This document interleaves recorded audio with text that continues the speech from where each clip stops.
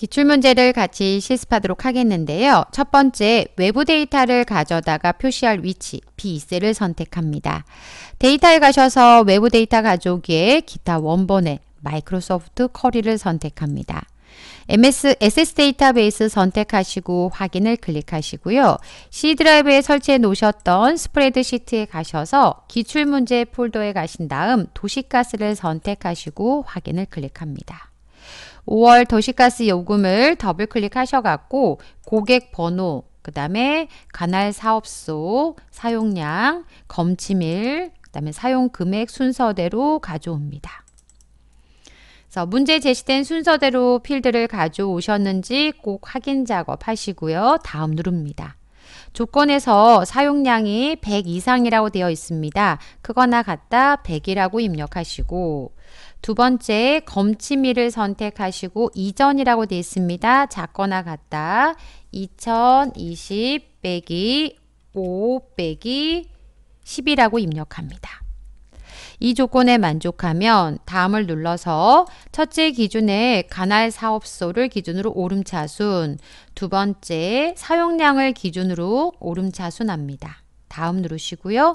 마침 눌러서 우리는 표 형태로 어, B2셀부터 표시하겠습니다. 확인 버튼 누르시면 외부 데이터 가져오셨고요.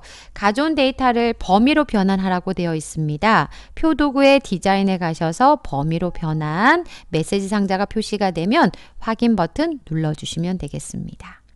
그래서 외부 데이터 가져오기 문제 살펴보셨고요. 다음은 기타 작업 다시 이번에 고급 필터 문제를 보도록 하겠습니다. 고급 필터를 작성하시려면 먼저 조건이 작성이 돼야 되고요. 조건에 and, or, 어, left, average 함수 모두 사용합니다. 필드명을 다르게 사용하셔서요. A23에다가 조건이라고 입력하겠습니다. 조건, 위치가 A23에다가 그 다음 조건 어, 수식을 작성하시면 돼요. 이퀄 넣겠습니다. A24셀에다가 이퀄 등호 넣으시고 고객 번호의 앞에 네 자리가 3001 이거나 라고 되어 있습니다. 뭐뭐 이거나 그럼 OR 함수 먼저 한번 넣어볼까요? OR 함수 입력하고요. 앞에 네 자리를 추출하기 위해서 left 함수가 필요할 것 같습니다. left 입력하시고 첫 번째 고객 번호가 있는 A3을 선택하고 싶표 네 글자를 추출한 값이 음, 3001과 같습니까? 문자로 처리하셔서 3001 입력하시고요. 심표 첫 번째 조건이었습니다. 두 번째 조건은 사용량과 전월 사용량의 평균이 150 이상 250 미만이라고 했습니다. 150에서 200, 150 사이에서 250 사이를 구하기 위해서 AND 함수가 필요할 것 같고요. 가로 열고 사용량과 전월 사용량의 평균값을 구해가지고 그 값이 크거나 같습니까? 라고 넣어야 될 것 같은데 평균값을 구하기 위해서 에버레이지가 필요하고요. 그 다음 에버레이지에 들어갈 데이터는 어, 사용량과 심표, 그 다음에 전월 사용량 D3과 F3을 선택하고 그 값이 크거나 같습니까? 150이라는 첫 번째 조건을 주면 평균값을 구해서 150보다 크거나 같은 데이터를 다 추출합니다. 심표 다시 한번 AVERAGE 구한 값을 복사해서요. 컨트롤 V 하겠습니다. 어, 괄호는 빼야 될 것 같은데. 그래서 AVERAGE 직접 작성하셔도 되고요. 복사 붙여넣기 하셔도 되고요. 이제 어, 250 미만이라는 조건을 주기 위해서 작다 250이라는 값을 넣습니다. 그 다음 AND에 대한 괄호를 닫고요. OR에 대한 괄호를 닫고 엔터, 엔터 누르시면 조건을 작성하실 수가 있고요. 이제 어, 범위를 A2부터 음, 제21 영역의 데이터만 가지고 고급 필터를 실행하겠습니다. 라고 작업을 해보도록 하겠습니다. 데이터에 가시면 정렬 및 필터에 고급이라고 있고요. A2부터 제21 영역의 데이터를 가지고 조건 범위는 A23부터 A24의 데이터를 조건에 만족한 데이터를 다른 장소에 복사 문제에서 뭐 특별히 추출할 필드를 제시가 안 되어 있으면 모든 데이터를 가져오는 거죠. A27부터 표시할 수 있도록만 선택하시고 확인 버튼 누르시면 어, 이 조건에 만족한 데이터는 이렇게 추출이 된 걸 확인할 수가 있습니다. 고급 필터 문제 살펴보셨고 다음은 조건부 서식 문제 보도록 하겠습니다. A3부터 음, J21까지만 데이터를 선택합니다. 제목 포함하지 않고요. 아래쪽에 평균 포함하지 않습니다. 실제 데이터만 선택하시고요. 홈에 가시면 스타일에 조건부 서식이라고 있고요. 새 규칙을 클릭합니다. 그 다음 수식을 사용하여 서식을 지정할 셀 결정 선택하시고 등호를 넣습니다. 그 다음 사용량의 상위 네 번째까지와 하위 네 번째까지의 행 전체에 대해서 라고 되어 있습니다. 그래서 상위 네 번째이거나 또는 하위 네 번째라는 조건을 지정할 수 있도록 OR 함수가 필요할 것 같고요. 상위 값을 구하기 위해서 LARGE 함수가 필요할 것 같습니다. 그래서 조건은 사용량입니다. 사용량이 있는 데이터 D3부터 D21까지 선택하고 쉼표 4 그러면 상위 4, 네 번째까지 값이 구해지고요. 이 값보다 작거나 같습니까? 누가 D3에 있는 데이터가 근데 어, D3을 선택하시면 음, 고정되어 있잖아요. 이 데이터는 F4, F4 누르셔서요. D10만을 고정합니다. 네. 그러니까 첫 번째 D3에 있는 데이터는 값이 바뀌는 거니까 D10만 고정하고요. D3, D4, D5 데이터들을 비교하는데 네 번째 큰, 네 번째 큰 값을 구해놨잖아요. 그 값보다 우리는 작거나 같다라고 표현한다는 얘기는 1, 2, 3, 4만을 뽑아낸다는 거죠. 쉼표. 반대로 SMALL 함수를 사용해서요. 그 다음 사용량을 넣어주시고요. 마찬가지로 쉼표. 그 다음 괄호 닫고요. 그 다음 SMALL보다는 이제는 크거나 같다라고 부등호를 넣으셔야 되고요. D3을 선택하되 F4, F4 누르셔서요. 달러 D 3으로 바꿉니다. 그럼 SMALL 함수를 통해서 네 번째 작은 값을 구할 겁니다. 그 작은 값을 하나씩 비교해서 4까지만 데이터를 추출하고자 합니다. 이제 이 조건에 만족하다면 저희는 서식에 가서요. 어, 만족한 데이터를 찾아서 글꼴 스타일을 굵게 하겠습니다. 색깔을 파랑색으로 표현하겠습니다. 라고 색깔을 선택하시고 확인 누르시고요. 다시 한번 확인 버튼 눌러주시면 하나, 둘, 셋, 넷, 다섯, 여섯, 일곱, 여덟 건에 대해서만 어, 서식에 들어간 걸 확인할 수가 있습니다. 예를 들어서요. 아까 LARGE 함수를 통해서 equal LARGE 함수를 통해서 사용량의 쉼표 네 번째 네 번째 큰 값이 얼마인가를 확인해 보시면 290입니다. 290보다 크거나 같은 데이터 4건 추출되어 있죠. 마찬가지로 SMALL이란 함수를 사용해서 확인해 보시면 사용량에 가서 쉼표 4라고 넣으면 4보다 작, 96보다 작거나 같은 데이터 하나, 둘, 다음에 셋, 넷 데이터에 서식이 들어간 걸 확인할 수가 있습니다. 그래서 조건부 서식까지 살펴보셨고요. 네 번째 시트 보호와 통합 문서 보호를 보도록 하겠는데요. T22셀과 그 다음 컨트롤 키 누른 상태에서 F22부터 G22를 선택합니다. 그 다음 셀 서식에 가셔서요. 셀 서식에 보호 탭을 클릭하시고 잠금과 숨김의 체크가 되어 있는지 어, 안 되어 있으면 숨김을 체크를 하시면 되겠죠. 체크하시고 확인을 클릭합니다. 그 다음 우리 검토에 가시면 시트 보호라고 있습니다. 문제에서 잠긴 셀의 내용과 워크시트를 보호하라고 했고요. 또 하나 암호는 넣지 않는다라고 되어 있고요. 잠긴 셀 선택, 잠기지 않은 셀은 선택하는 걸 허용하겠습니다. 라고 문제되어 있습니다. 확인 한번 누르시고요. 다시 한번 통합 문서 보호에 가셔서요. 어, 워크시트를 삽입하거나 삭제하거나 이동하거나 이름을 바꿀 수 없도록 구조만을 보호하겠습니다. 라고 구조가 체크가 되어 있는지 확인하시고 확인 버튼 누르시면 어, 지금 평균값에 대한 수식을 직접 확인할 수는 없지만 셀을 선택하는 건 허용이 되어 있기 때문에 클릭해서 셀을 선택하는 작업은 하실 수가 있습니다. 그래서 기본 작업의 외부 데이터부터 시트 보호와 통합 문서를 살펴보셨고요. 다음은 계산 작업 문제를 보도록 하겠습니다. 어, 검침이를 이용해서 F3부터 F21 영역에다가 사용 기간을 계산해서 표시하시오 라고 되어 있습니다. 사용 기간은 검침일의 한 달 전, 한 달 전 다음 날에서부터 검침일까지로 계산한다라고 되어 있습니다. 어, 표시되어 있는 형식이 제공이 되어 있고요.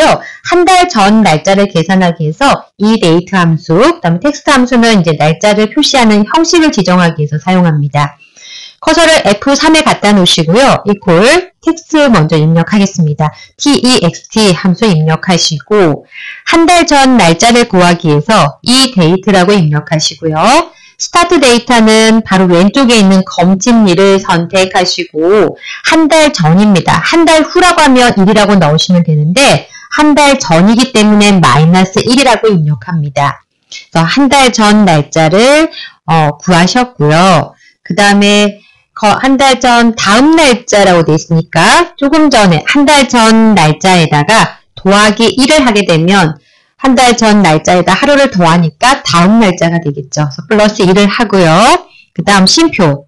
이제는 이 값을 가지고 어, 월, 일 형식으로 두 자리씩 표시하고자 합니다. 큰, 따, 큰 따옴표 묶어서 mm 슬래시 dd라고 입력하시고 큰 따옴표를 닫습니다. 여기까지만 입력하시면 어, 5월 5일에 한달 전 날짜의 다음 날짜가 4월 6일입니다. 라고 표시가 되어 있고요. 그 다음 연결해서 검침일까지 표시하고자 합니다. 조금 전에 구한 값 뒤에다가 n% 연산자 이용해서요. 그 다음 큰 따옴표 묶어서 물결 모양 넣어주시고 큰 따옴표 닫고 다시 한번 n% 입력하신 다음에 텍스트 함수를 이용해서 가로 열고 바로 왼쪽에 있는 검침일을 심표 마찬가지 앞에 있는 날짜처럼 큰 따옴표 묶어서 MMD로 입력하고요. 그 다음 가로 닫고 텍스트에 대한 가로 닫고 엔터 누르시면 4월 6일부터 5월 5일까지 어, 사용 기간에 대해서 어, 어, 값이 표시된 걸 확인할 수가 있습니다. 이제 구한 값은 아래까지 수식을 복사해 주시면 되겠습니다. 첫 번째 어, 계산 작업 살펴보셨고요. 다음 두 번째 문제입니다. 사용 금액을 계산해서 표시하시오. 사용량 여기 있습니다. 디얼에 있습니다. 사용량 곱하기 단가인데요. 단가는 아래쪽에 있는 단가표를 참조하셔야 될 것 같습니다. 어, 가정용이냐 상업용이냐 공업용이냐에 따라서 또는 사용량에 따라서 단가가 조금씩 차이가 있습니다. 그래서 함수를 이용해서 값을 찾으실 건데요. 음, 문제에서 HLOOKUP과 매치 함수를 통해서 값을 찾으라고 했습니다. 다시 한번 D3에다 커서를 갖다 놓으시고요. 이꼴 사용량 D3 음, H3에다가 수식을 입력하는 거죠. H3에 커서를 갖다 놓으시고 이꼴 사용량이 입력된 D3 곱하기 단가입니다. 단가는 음, HLOOKUP을 사용하려고 하셨으니까요. HLOOKUP 입력하시고요. H룩컵의 첫 번째는 차제 값인데 첫 번째 행에서 차제 값을 지정합니다. 첫 번째는 우리는 사용량을 가지고 D3에 있는 사용량을 가지고 심표 어디에서 값을 찾으시겠습니까? 라고 범위를 지정하는데 아래쪽에 오셔서요. 0부터 시작해서 쭉 값이 있습니다. 0부터 100 이상까지 0부터 100 미만은 어, 가족용, 상업용, 공업용에 따라서 값이 좀 단가가 달라질 거고요. 100부터 200 미만까지도 마찬가지로 값이 달라질 겁니다. 참조하는 표가 I24부터 L28까지입니다. 수식을 복사하더라도 항상 같은 자리죠. F4 눌러서 절대 참조하시고요. 심표. 그리고 우리가 가져올 데이터. 첫 번째 행에서 값을 찾았고요. 이제는 세 번째, 네 번째, 다섯 번째, 3, 4, 5라는 숫자가 필요할 것 같은데 가정용이냐, 상업용이냐, 공업용이냐, 아, 공업용이냐에 따라서 어, 가져올 행의 위치가 달라집니다. 이거를 매치 함수를 통해서 값을 지정하도록 하겠습니다. match 입력하시고요. 어, 매치 함수의 첫 번째 lookup value 차제 값은 어, 가정용, 상업용, 공업용에 해당한 데이터가 있는 위치를 지정합니다. B3을 선택하시고요. B3 심표 그 다음 B3을 어디서 찾을 거냐면 이쪽 단가표에 H26부터 H28에서 찾겠습니다. 라고 선택하시고 F4 절대참조 심표 정확하게 일치하는 값을 찾겠습니다. 라고 0이라고 입력합니다. 만약에요. 현재 어, 공업령이라는 값을 찾으면 이 보라, 아, 브라운 색깔 안에서 하나, 둘, 세 번째 3이라는 값이 반환이 됩니다.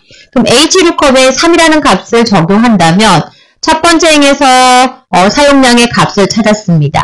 그러면 첫 번째에서 찾았고요. 두 번째, 세 번째 여기서 값을 가져온다는 거죠. 근데 이거는 가정용이지 공업용이 아닙니다. 우리는 공업용에 일치하는 값이 3이라고 구했다면 실제로 데이터를 찾아오는 곳은 범위 정한 표에 다섯 번째 있습니다. 그래서 플러스 2를 해줘야만 정확한 공업용에서 값을 찾을 수가 있습니다. 그래서 뒤에다가 더하기 2라고 넣어주시고요. 이제는 어, 네이치 루컵에 대한 가로 닫고 엔터 눌러서 아래까지 수식을 복사하시면요. 사용량에다가 단가표에 각각의 어, 값에 찾아다가 업종에 따른 값, 단가를 찾아다가 어, 곱해가지고 결과를 표시할 수가 있습니다. 그래서 두 번째 계산 작업까지 살펴보셨고요. 세 번째는 사용자 정의 함수입니다.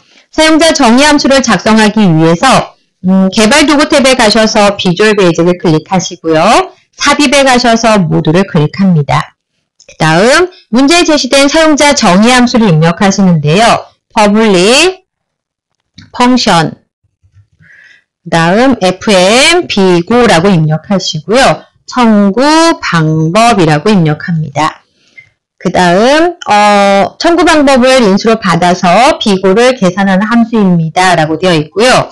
if 만약에요. 음, 청구 방법이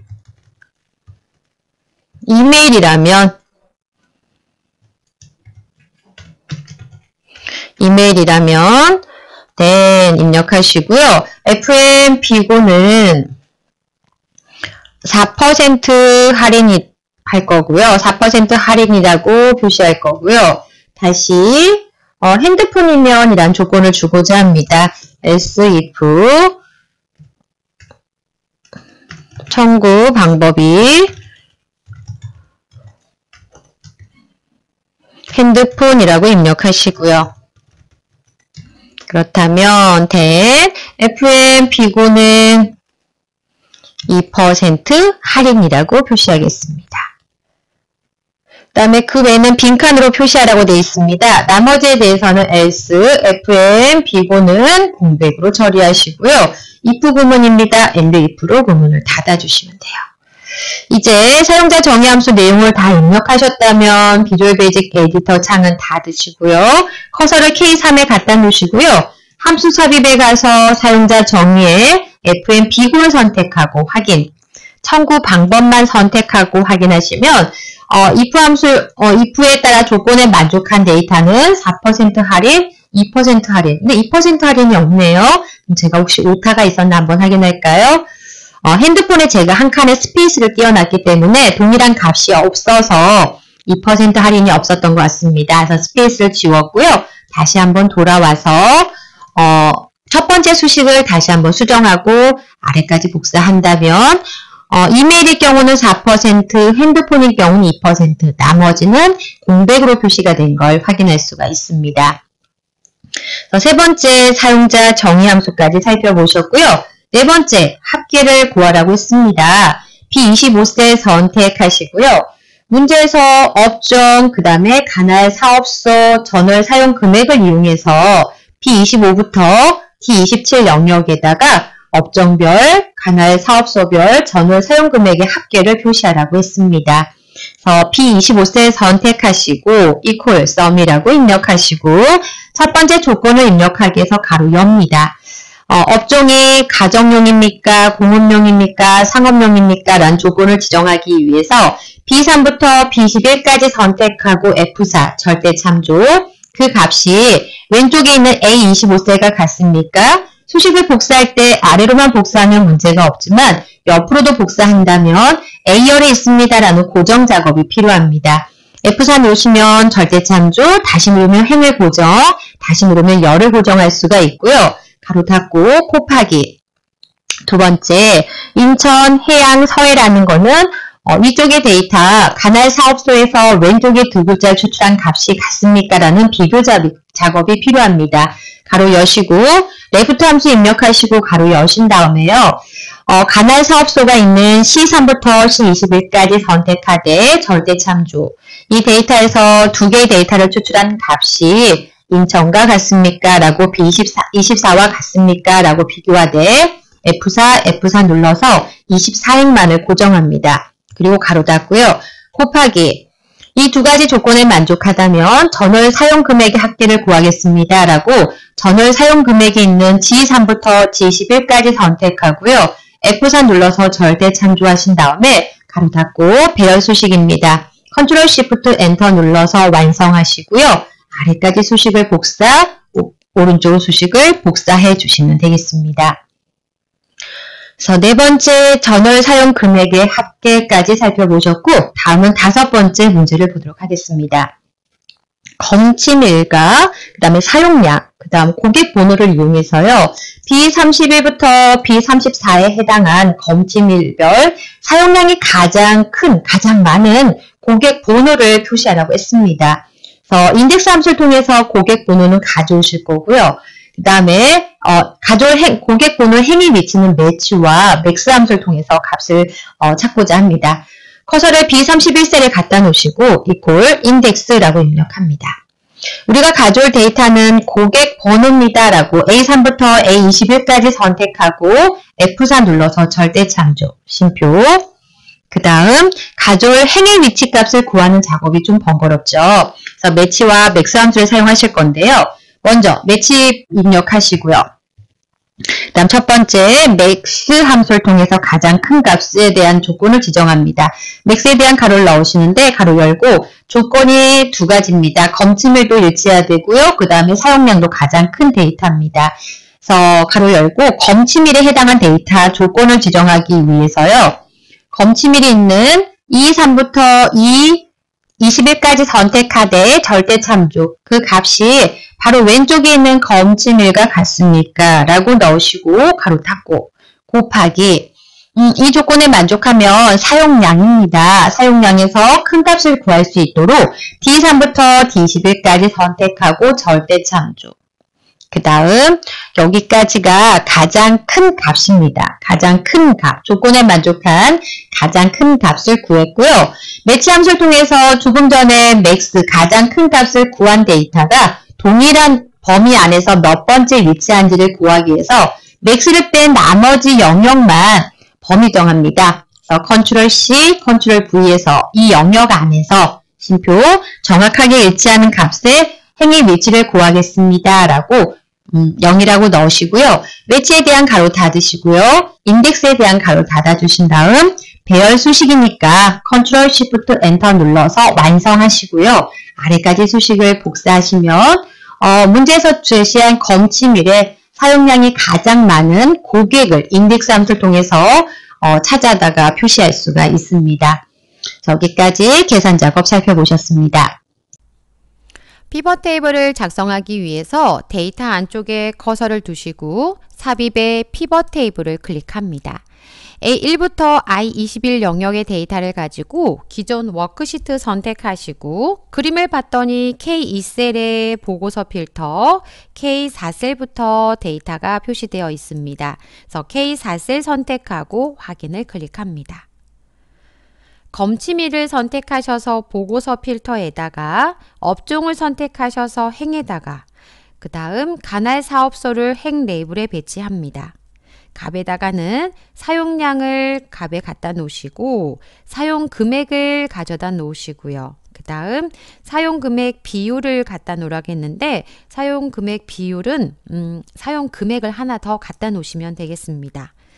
그 다음 개요 형식으로 표시하라고 했으니까 디자인 탭에 가셔서 보고서 레이아웃을 개요 형식으로 바꿉니다. 다음은 조금 전에 갖다 놓으셨던 합계 사용 금액 위에서 음, 마우스 오른쪽 값 필드 설정에 가신 다음 이름을 음, 사용 금액 비율이라고 수정하시고 값 표시 형식에서 열 합계 비율로 수정하시고 확인합니다. 사용량에서 마우스 오른쪽 값 필드 설정에 가셔서 표시 형식에 숫자를 선택하시고 천 단위 구분 기호가 들어가 있습니다. 체크하시고 확인, 확인. 같은 방법으로 사용 금액에서도 마우스 오른쪽 값 필드 설정에 표시 형식을 클릭하시고 숫자, 천 단위 구분 기호 사용을 체크하시고 확인, 확인 버튼 누릅니다.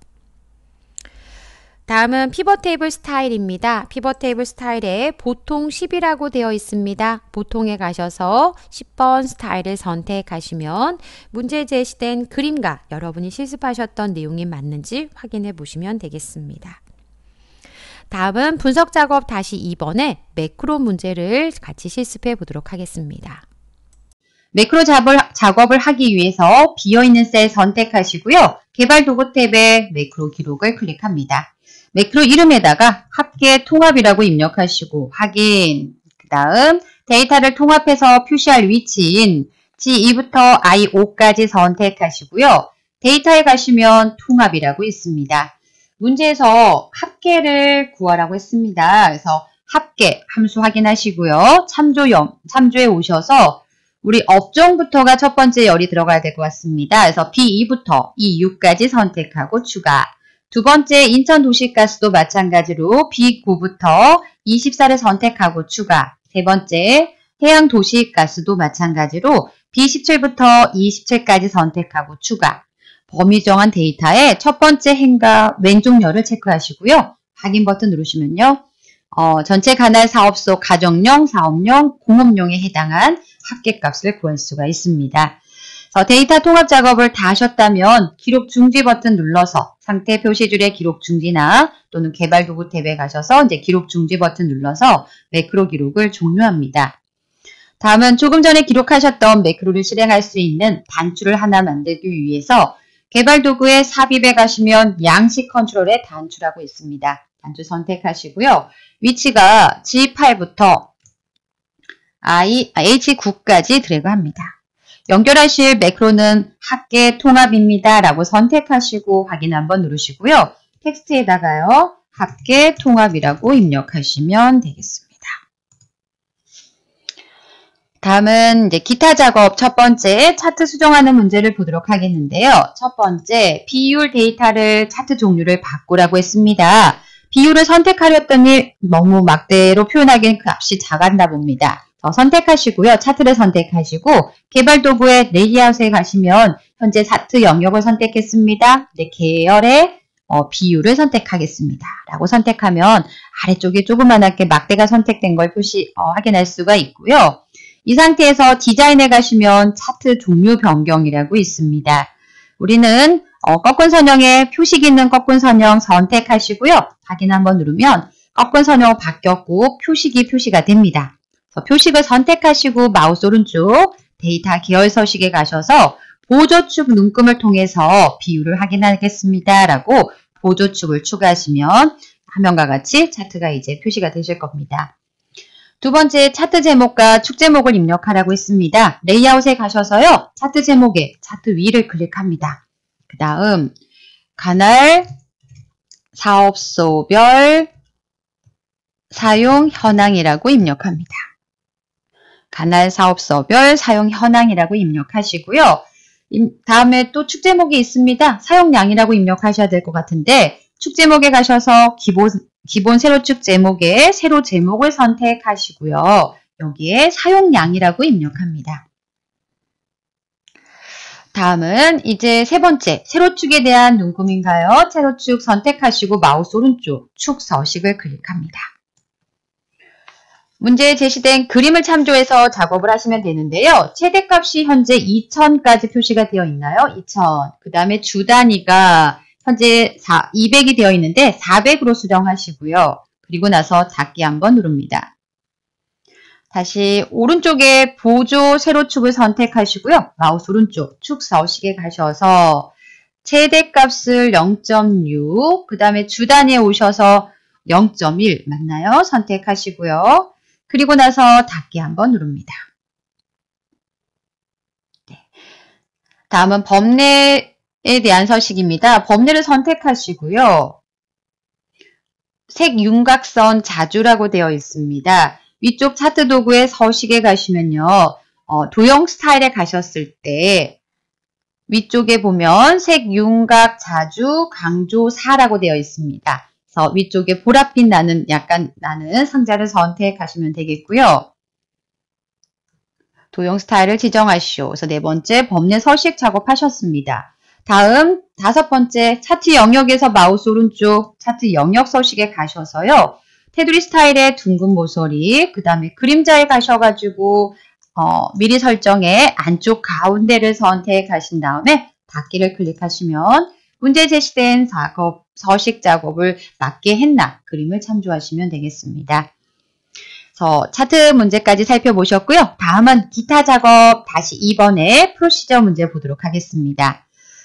먼저 음, 등록 버튼을 누르면 폼이 나오도록 프로시저를 작성하셔야 될 것 같고요. 그 다음 폼 초기화 작업을 하도록 하겠습니다. 개발 도구 탭에 가셔가지고요. 디자인 모드 하시고요. 등록 버튼 선택하시고 더블 클릭합니다. 등록, 등록 버튼을 클릭하면 폼 이름이 가스 누출이라고 되어 있고요. 가스 누출점 쇼 보여주세요 라고 작업합니다.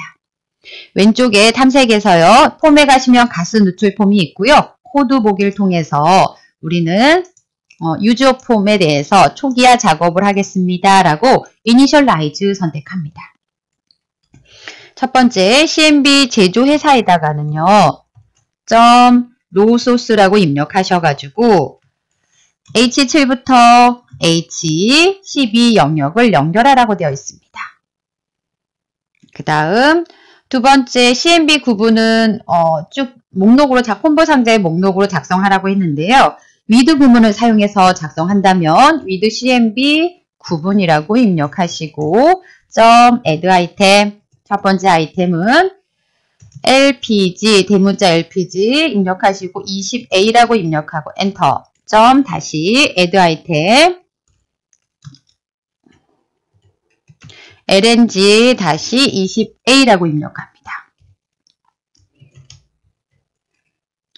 다음 세 번째도 마찬가지로 어, 점 AddItem 이용하시면 될 것 같아서 복사 붙여놓기 하겠습니다. 그래서 LPG 25A로 수정하도록 하겠고요. LNG 25A로 수정하도록 하겠습니다. With 구문을 사용했으니까 End With로 닫아주셔야 되겠죠. 폼 초기화 작업, 폼 보여주고 초기화 작업까지 하셨고 세 번째 종료가 좀 쉽잖아요. 그래서 종료 버튼 클릭하면 현재 폼을 닫겠습니다. 라고 Unload Me라고 입력합니다. 이제 두 번째 작업을 하기 위해서 현재 작업하는 창을 한번 닫아 보시고요. 디자인 모드 끝내기 하신 다음 등록 버튼 클릭하면 폼이 나오는지 확인하시고요. 우리 아까 제조회사 연결해 놨습니다. 구분도 데이터를 AddItem에서 추가해 놨습니다. 이제 구매자 입력하고 주소 입력하고 연락처 입력한 다음에 입력하면 B4셀의 데이터가 첫 번째 데이터가 입력이 되어야 합니다. 어, 기준 셀을 B3셀로 잡으신다면 현재 연결된 행의 개수는 바로 위쪽에 있는 표 1까지 인식을 해서요. 두 개라고 표시가 됩니다. 이제 위쪽에 연결되지 않은 거 하나와 새롭게 줄바꿈할 수 있는 하나를 추가해서 플러스 2를 하시면 될 것 같고요. 구매자가 두 번째 열이잖아요. B열이 2, 3, 4, 5, 6 각각의 열의 위치에 폼에 있는 데이터를 입력하는 작업을 하시면 될 것 같습니다. Visual Basic 클릭하시고요. 저희가 등록 입력 버튼을 클릭하면 행의 위치 값을 기억할 수 있는 변수 range i라는 변수는 range 기준 셀이 B3셀을 기준으로 CurrentRegion 연결된 행의 개수를 카운트하겠습니다.